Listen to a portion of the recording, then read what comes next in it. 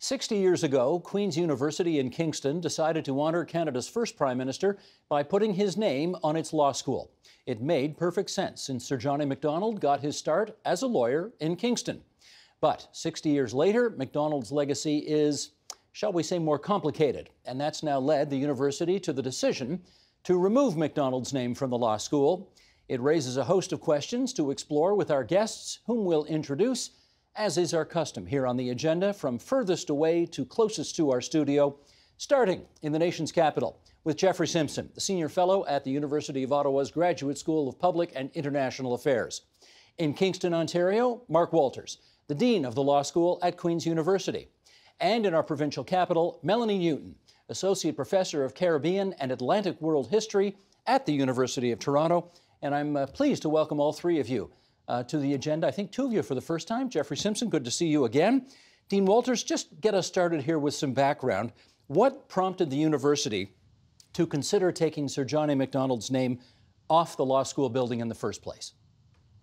Sure. I mean, the issue of Macdonald's name has been one that on uh, on the agenda. Sorry, um, for a few years now. Um, that the triggering factor probably was a petition submitted to the Board of Trustees in June uh, asking for the name to be removed, and uh, uh, a consultation process followed. various recommendations made, and these were all put to the Board of Trustees um, on October 19th, and it made the decision to to remove the name. Um, so uh, a consultation process leading to recommendations and a decision. Let me follow up on that consultation process because in your report you do point out that you did an online survey and uh, I'm going to ask our director, Sheldon Osmond, to bring up those numbers right now because you asked the question Do you believe that the law school building should continue to be named Sir John A. Macdonald Hall? You surveyed nearly 3,000 people, and yes, keep the name as is came back with 47% support.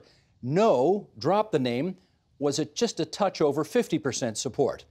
Then you surveyed law school alumni who answered the survey Yes, keep the name, 44%. No, drop the name, 38%. But of the current law school students, yes, keep the name, only 21%. No, drop the name, 58%. So the question is how useful, uh, Mark, was all of that information to the university making its ultimate decision? Right. So, uh, you know, I think we all appreciated going into this that there this was a question that would divide people um, and it came out as dividing people almost down the middle. Um, though, as you just noted, law school alumni tended to favor keeping the name. Now, this was a an interesting fact in in how we uh, we understood the responses. It, seemed that uh, uh, the graduates up to about the year 2000 tended to favor keeping the name, and then thereafter tended to favor removing the name. So there seemed to be a generational divide here. And then we turned to present students, but also faculty member and staff within the law school. Uh, an overwhelming majority tended to want to dename the building. Um, and and uh, you know, in the end, your question, how do you uh, reach a conclusion on the basis of those numbers? You know, in the it really wasn't a matter of numbers. Uh, it's not just a matter of tallying up votes on one side or the other but coming to a reasoned decision on the basis of principle. And um, so that's how we approached it in the end. Melanie Newton, what's your view of what the university has decided to do? Um, I think it reflects uh, the changing sentiment about the role that um, this kind of naming process and monuments and street names play. That it's not changing these names is not quote unquote changing history it is acknowledging that history in a fuller and richer way, and that the naming, choosing to name something after John A. Macdonald is um, to choose to constantly reenact the fact that he was such a crucial figure in the history of residential schools. Jeffrey Simpson, before I get you to weigh in on what you think of the decision, maybe you could just tell us off the top. You do have a rather deep connection to Queen's University, do you not? I had. What is it? Oh gosh, I was a student there. I had a wonderful undergraduate education in history and political science. I was one of the first student senators. I was um, winner of the Tricolor Award. I have been a fellow there. I've been a distinguished visitor. I was a member of the board of trustees. I was uh, I have an honorary degree from Queens. Um, I am the permanent president of Art 71, a position I'm trying to resign from, but they won't let me because I was elected. So I've been involved in Queens for the better part of 50 years in different iterations, and it breaks my heart to see what they've done because um, this is what I call presentism. You can use other phrases. Presentism is where you have a certain view of society today and how it should be organized and how it should have values that you agree with. And you project back 100, 150 years and say, why didn't they act then as we would act today? This distorts history completely. Put it another way, Steve, we're having a discussion today November 2020, we all have worked for or work at certain institutions. We don't spend any time, nor can we spend any time, thinking about what 150 years from now people will think about what we did today. Maybe the next generation, but not five or six generations from now. It's impossible to know what Canada will be like, what the world will be like 150 years from now. We can only think about our contemporary circumstances, which is exactly what was happening to Sir John A. Macdonald and all the men, and they were men who were in public life at that time. So to retroactively condemn, and by the way, if you take somebody's name off a building, you're condemning. That's not a neutral act. You're making a strong political statement. You are doing something which I call presentism, which distorts the past. I'm all for adding, and there were compromises available here. But unfortunately, it wasn't quite as simple as the dean has said. The principal of the university very much wanted this to happen and started sending messages to the university community, and I get them, uh, about uh, what I call presentism, quoting Karl Marx and uh, all the buzzwords of today. And by the way, I've served for 15 years on university boards, six at Queen's and nine somewhere else. I have some sense of how university government wants works. And in those 15 years, Steve, I have never, and I went through my addled memory about this, I have never known a board to stand up and say no to a principal who really wants something. So the principal wanted I could this, see this com- I could see this coming a long time before it actually happened. But the only thing that shocked me in all of this is that at the law school, the professors voted 29 to 3 that's a 95% vote. That's like a Belarusian election. I mean, you professors, I love them, but they are so hard to work uh, to, to herd together. They can barely agree that there's today is Monday. But in this case, the howling winds of presentism swept through the law school, and the vote was 90, 29 to 3. Think of the chilling effect that has on whatever students might not have agreed with the mighty 29. Okay, so I'm guessing, Jeffrey, your colleagues here want to have at that. Uh, Mark Walters, can you, can you speak first of all to the issue of presentism? You are making a decision uh, today. Well, okay, you just heard Jeffrey Simpson's argument, so why don't you take a hit at it? Sure. Yeah. Uh, uh not surprisingly, I don't see it as presentism at all. Uh, quite, quite the contrary.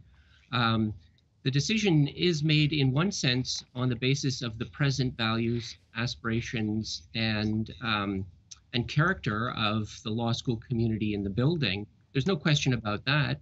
Um, the name the building sends a signal to the world about the kind of community in that building. And it and the, the reality is, and it is a present reality, that name was getting in the way of certain basic values and principles that we cherish here. And I'll just name two. One, uh, reconciliation between Indigenous and non Indigenous people in Canada and two, the value of diversity and inclusion in a university environment. And uh, I'll, I'll just be blunt. Uh, I had many, many Indigenous students uh, say to me, and they said to the advisory committee during the consultation process, how can you say that you are welcoming us into your law school to study law when the name on the building is the name of somebody who initiated a policy which had a devastating effect on our communities. And these are students, uh, some of whom will have had parents and grandparents in residential schools and uh, who suffered as a result. Now, I, I, it, it, would be present to, to say uh, Macdonald is responsible for everything that occurred in the 80 or 90 years after initiated the policy. But the fact of the matter is, that is how people felt and feel today about the name on the building. And um, and uh, you know he was indeed the minister responsible for Indian affairs when the policy was introduced. Uh, that's a fact. And I, am not changing history there. I'm not rewriting anything. Um, he was the minister responsible for the policy that proved devastating for Indigenous people uh, in in the subsequent history. All right, let me get Melanie Newton on this part then. If if the idea is to improve issues around inclusion and reconciliation, based on your knowledge of when this kind of thing is done in other areas, does it actually move the yardsticks forward on those two issues to remove names, change street names, et cetera, et cetera? The simple answer is yes. First of all, I think the conversation that we're having now is entirely because people made this demand and the demand was finally heard. Um, in the context of everything that has happened this year, in terms of thinking about questions of systemic racism, that's why we're having this conversation. So the conversation itself is productive, and we would not be having it if that demand, which has existed for quite a long time, to change, to rethink this, these kinds of names, was not out there. So this is a an institutional response to a sentiment that is not new. That's the first thing I would say. The second thing I would say is that the um, the on the question, of course, I don't know anything about the specific details of the decision-making process at Queens, but I would call if there was that kind of um, encouragement from the president and a sign of how the president of the university felt that this this was something that needed to happen, I would call that leadership, and I would say it is the kind of ethical leadership that does take a position on this question. Of course, it's you know, and, and saying that this is what the university thinks ought to happen. So I would see that a little bit differently. And I do think actually it's a sign of the kind of leadership that we would want from our intellectual institutions in the society to say that this is imp- important. Um, and then a last point on this question of the fact, the idea that it's presentism. You know, I'm not teaching the same textbooks to my students that, say, someone who is teaching the history of imperialism would have been using 25 years ago the conversation changes. And that conversation includes what happens in our classrooms. It also includes what happens in our public spaces. So we should not be assuming that it is somehow a bad thing or all the institutions of society will fall if, as a society, we engage in those conversations and look at what aspects of our history do we choose to celebrate in public? Are they adequate? for the kinds of conversations that we are having with that past. That is not presentism. History is a conversation between the past and the present. That does not mean that you can change past events, obviously not, but the conversation does change. And it's really important for all of our institutions to have that kind of sophisticated understanding of history. So the idea that somehow a monument once erected must stand forever is like it's the same as suggesting that you know a textbook that someone was using 50 years ago um, it was good enough for then it's good enough for now it's it's just not it's not the way it's not a healthy way to engage with but, but i think jeffrey simpson's point was uh, it, of course history changes and we reinterpret it as the years go by but as opposed to subtraction what about addition as opposed to taking macdonald's name off the school could you not name something else at the school after somebody maybe an Indigenous person who had made a great contribution to Canada as well. Why is that not an option? I cannot speak to the specifics of the decision at Queen's University, nor would I say that um, when it comes to these kinds of figures who we come to associate, and I'll speak about the things I know most about, with Indigenous genocide and with slavery, um, I can't. Um, the response has to be the same. It depends on what kind of um, public monument or street, or it depends on what you're talking about. So I think the conversation that is happening in sort of heritage circles around these questions is a lot more complicated um, and in acknowledgement of the fact that not every public commemoration is the same or has to be dealt with the same way. In the specific case of Queen's University, I do think that everything that the dean just said um, about how this was being understood by students um, within the school now is really important. And again, I would stress to change the name of the law school does not change the role of John A. Macdonald in history. Well, let me pick up on that if I can with, with uh, Jeffrey Simpson, because your great friend and mine, Richard Gwyn, uh, wrote a couple of books about Sir John A., in which he concluded no Sir John A., no Canada. So that's a pretty good thing to have on your resume. Having said that, Jeffrey, here's what Sir John A. did say back in the day. If you look around the world, you will see that the Aryan races will not wholesomely amalgamate with the Africans or the Asiatics. It is not to be desired that they should come, that we should have a mongrel race. Now, how do you deal with the unacceptability of those views today with the understandable desire to honor a man who created one of the great countries in the history of the world? There's no question about the fact that Macdonald, like the other white patriarchs at the time, were racist vis a vis other than white races. There's no question about that. And they outlawed the potlatch and they uh, set up residential schools, which they thought, in the way they saw the world, would assist those people in getting an education in the white man's way. I don't, there's no question about that. And nobody, to my knowledge, has ever said that that wasn't part of Macdonald's legacy and the legacy of all the people at the time, because nobody objected to residential schools that I'm aware of in the historical record. But when you take a name off the building, what you're doing is you're putting basically all your eggs in one interpretive basket, which is what you just showed on the screen. And you're forgetting about the fact that he and the others actually did something, and we're too modest as Canadians to put this in an international context, but I will, which is quite remarkable.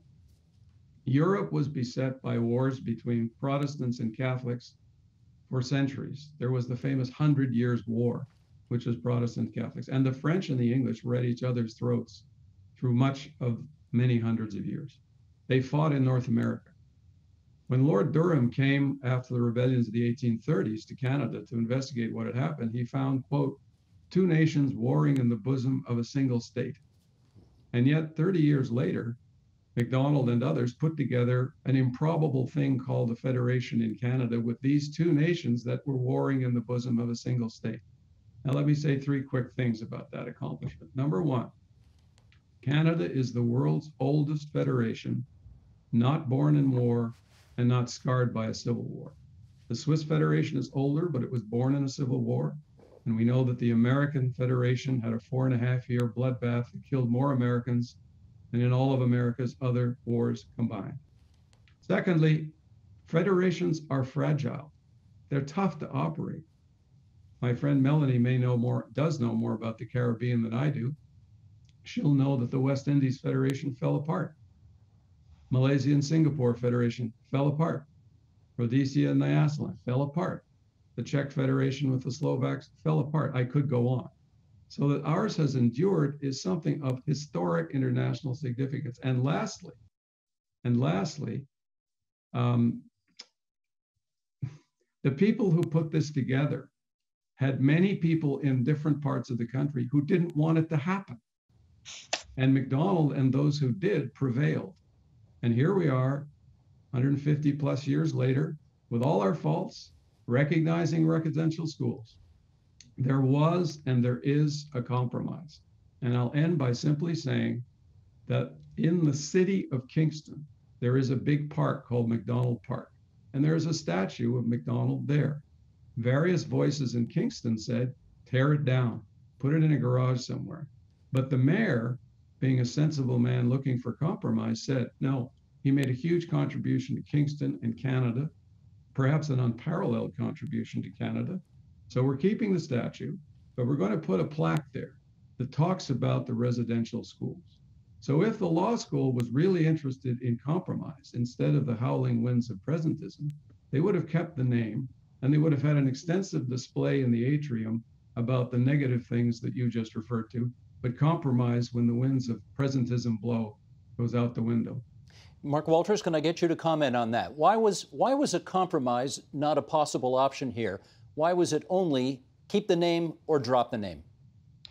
Yeah, uh, uh let me begin just by saying that uh, that that Jeffrey's uh, account of the history is is pretty accurate. I mean, he he's uh, outlined the various accomplishments of Macdonald and uh, Macdonald's generation So, uh, but he's also acknowledged the facts of Macdonald's uh, policies in relation to Indigenous people and racial and ethnic minorities. So, um, compromise. Well, it's a bit like um, uh, the the name on a building tends to reinforce a one-dimensional view of the person. It's a celebration, and it doesn't. It's not a really effective method at history or developing a rich and balanced view of history. It was put there in 1960 on the basis of a one dimensional view of Macdonald. Um, and we could put a little footnote or asterisk beside the name. Please see the plaque inside. Is that going to be effective in the long run? Um, and I would ask, you know, would it be effective to address the concerns of Indigenous students, for example, or members of racial and ethnic minorities, or not? And the answer that we got was no. Um, there are other ways of compromise. We can still have that display case. We can still have plaques inside. In fact, I think we should. Uh, it's not our intention to, to um, erase or rewrite history. Uh, there is a really important history to tell about Macdonald. And I just don't think having the name on the building is the effective way to do it at the moment there are other ways that we can further a rich and balanced understanding of Macdonald. Well, let me follow up on that if I can. If I mean, you ask people basically uh, two options: keep the name, ditch the name. What if there had been a third option, which was we're going to keep Macdonald's name on the building, but we are going to add, let's say, an Indigenous leader's name as well. So henceforth, it will be called Macdonald fill in the blank Hall. Why was that not offered as an option? Well, I, I think, uh, I guess the, the survey was a, a, yes or no answer, but there was also a comment box, uh, and people could write in comments. And we thought and uh, expected, and in fact, it turned out that many people did offer um, other other ways of dealing with the issue. Uh, and it did come back to an assessment in the end about the effectiveness of those alternative methods of addressing the question. And the, the final conclusion being that if we really are committed to the ideal of reconciliation, um, it's better to have the name off and the context provided in an alternative method inside the building in some way.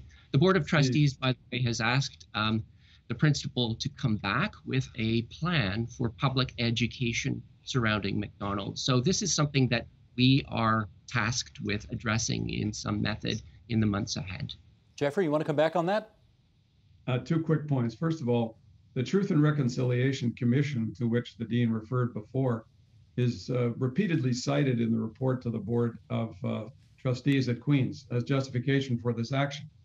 It's ironic that um, the head of that Truth and Reconciliation Commission, Senator, formerly Judge Murray Sinclair, uh, has said on various occasions he does not favor taking names off buildings and toppling statues because he knows how divisive it can be and that there are other and better ways of coming to terms with the past. So it's interesting that the chair of the very commission that everybody's referring to to justify their actions says don't do things like that. He wasn't referring to Queens, let me be clear. Secondly, you can almost understand why the what I call howling winds of presentism blow in certain elite circles because after all, the prime minister of Canada his office building was called the Langevin block. And he took the name Langevin off the building. Who's Langevin? Hector Langevin, when Cartier died, was Macdonald's right hand man in Quebec. He fought. He fought for Canada in Quebec, where there were many people who did not want Quebec to join Canada. He fought for Canada. And he was Minister of Public Works at a time when it was the third most important portfolio in the government after Prime Minister and Minister of Finance. The, we were a country that needed ports, needed roads, needed schools, residential schools included. And when they scoured the history of old Hector, they came up with two paragraphs in which he said racist things against all these other accomplishments. So if the Prime Minister of Canada is engaging in this kind of activity, it's open sesame for Queens. And by the way, if you're going to take Langevin's name off buildings and take Macdonald's name, better take Cartier's name off take him off the bridges and the roads, get rid of him. And when you're finished, Macdonald, Cartier, and uh, Langevin and the others at that time, you better move on to Sir Wilfrid Laurier. better change that name of the university in Ontario because after all, he didn't do anything about residential schools. Apparently, he did nothing good for Canada. And get rid of the names of all of his cabinet ministers that dot the country. There's no end to this once the howling winds start blowing. Well, I, I, think Melanie Newton, I need you to speak to that. The fact is, when when Laurier came into office, he increased the head tax on Chinese coming into the country, I think by about tenfold. So, um, if you want to look for a troubled legacy there, you will find it. Uh, can I put Jeffrey Simpson's question to you? If if we're going to um, change the names of things where people in the past might not have stood up to the sensitivities of today, do we have to take basically everybody's name off everything? So, oh, where to start? Um, so I think it's interesting. What I would say is that so the process that Canada is going through is not new. This process of really rethinking the names of these kinds of figures associated with white supremacist thought um, and its defense has happened in many other parts of the world. I do think um, that here in the Canadian context, there is this. I, I would say that there does seem to be a sort of a deep emotive attachment to some of these figures, even yes. as people recognize the complexity of their legacy. There was not the same, say, deep emotive attachment um, to um, in, to similar kinds of monuments um, in other places. So I do think that at the center of this, I will say honestly, is a question of race. Um, and that is that is true. That is a present conversation. But I want to stress that this idea that rethinking whether or not these monuments still have a place in our present life is not about rethinking history. So I would first of all say, so the idea that you would have Sir John A. Macdonald's name and an Indigenous leader's name, I'd be curious to know what Indigenous leader would actually want their name up there with Sir John A. Macdonald. I suspect that would be an extremely short list. Um, so that's the first thing. Um, the second thing is that I understand, obviously, you know, Jeffrey Simpson is knows a lot more about Canadian history than I do. It's not my field of expertise, but I do know imperial history, and I do think that what this opens up is also a, a, richer conversation about the context of Canadian federalism, which happened in the same decade and was intimately related to the end of um, the election of representative uh, representative assemblies, so the taking away of responsible government from the British Caribbean. Um, a generation after emancipation, and it was they were expressly framed in relation to each other. Um, so that you have responsible government for white settler colonies, you have authoritarian rule directly from the colonial office for colonies where the populations were predominantly white. So this is a long process that goes on. It includes the um, the granting of responsible government to Canada, eventually to South Africa and Australia. It's so it's a longer and more complex history. And I do think that people in this country for a long time were not taught this history, and they were not taught this history because the particular kind of narrative of Canadian Confederation that Sir John A. Macdonald represents was very much celebrated as the basis of state legitimacy. And I do think that in, a, in our own contemporary society, the basis of that legitimacy needs to be thought of in some different ways that actually recognize that the country has changed.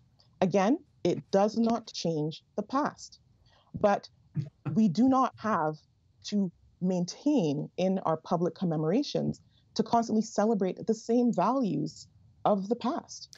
Um, so it's not, I think the idea that it's going to change history or that it's an endless pro you know, I think that that speaks to the deep emotive connection, but it also speaks to some, in some ways, to the fact that this complex history, which I was taught in the Caribbean, is not taught here.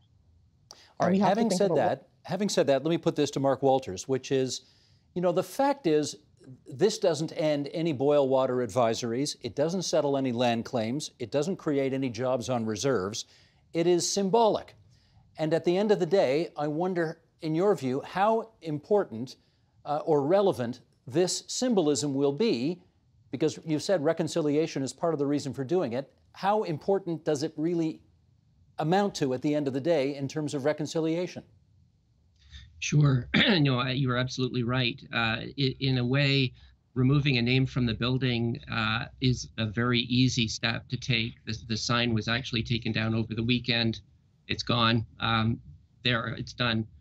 What have we achieved? Um, I, I think in the long, you're you're absolutely right. If we're interested in reconciliation, we have to take the hard, long road of reconciliation. It's a relationship building exercise. It's reconciliation is really about building healthy relationships. Um, and that takes a lot of time and effort, and change has to be uh, significant. So I guess uh, what I what, what I would suggest is maybe we've got a point. We're at a point now at Queens in our law school where where we can legitimately say to Indigenous uh, law students, "Come here to study," uh, because we're interested in pursuing that path of reconciliation. And not just indigenous students in, uh, it, we have to get non-indigenous students on board too so that they can be uh, leaders uh, of tomorrow in terms of building a, a, better more just a healthier relationship between the different peoples in canada. And i'll just say uh, back to Macdonald's achievement i agree with jeffrey totally he, he was able, he and a few others, to unify distinct peoples, French and English, Protestant, Catholic, within a single federation committed to justice and legality.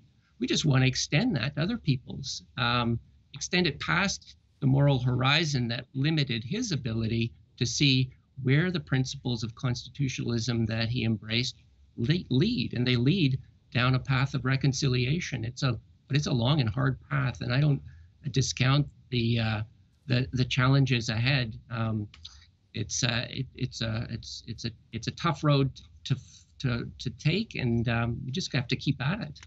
Well, I literally have just a few seconds left to not only thank the three of you for coming on our program tonight, but uh, I'd also like to say that uh, the three of you showed a great deal of courage coming on. We invited numerous other people to join you three in this discussion, and nobody would.